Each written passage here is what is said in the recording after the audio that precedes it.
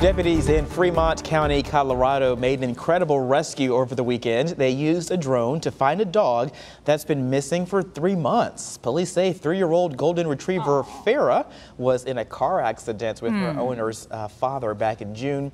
And after the crash, she ran away. People reported spotting her several times on at-home cameras.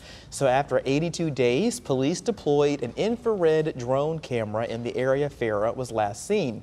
Within 10 minutes, they found her. Wow.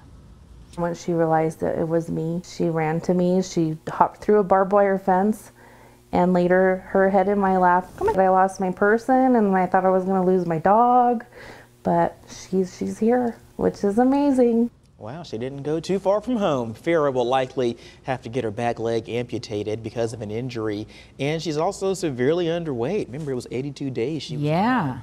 Her owner says uh, she is still, though, just as sweet as ever. Poor baby.